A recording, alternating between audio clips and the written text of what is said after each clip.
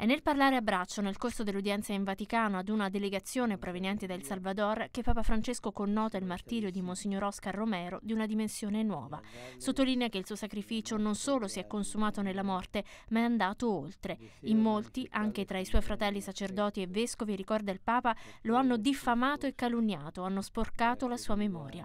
Solo Dio conosce storie di persone e molte volte per quelle che hanno dato la vita, la lapidazione prosegue con la pietra più dura al mondo, la lingua lingua. Il sangue dei martiri, sottolinea Francesco citando Tertulliano, è seme per i cristiani e ancora oggi è testimonianza fruttuosa di santità, giustizia, riconciliazione e amore.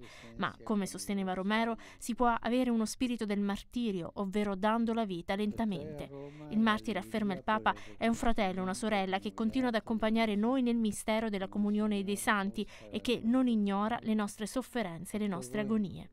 A poche settimane dal Giubileo della Misericordia, Monsignor Romeo è soprattutto per El Salvador uno stimolo per un rinnovato annuncio del Vangelo, aggiunge il Papa, una spinta per la promozione e lo sviluppo della nazione alla ricerca della vera giustizia, della pace vera e la riconciliazione dei cuori.